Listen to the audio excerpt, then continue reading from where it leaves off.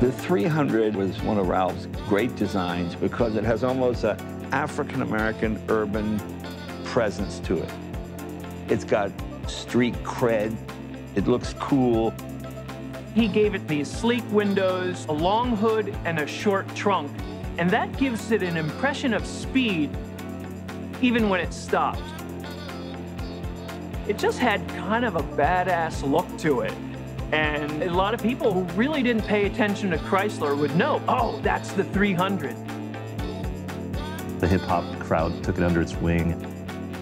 The vehicle looks great, and it was affordable. It was a pretty big deal for us.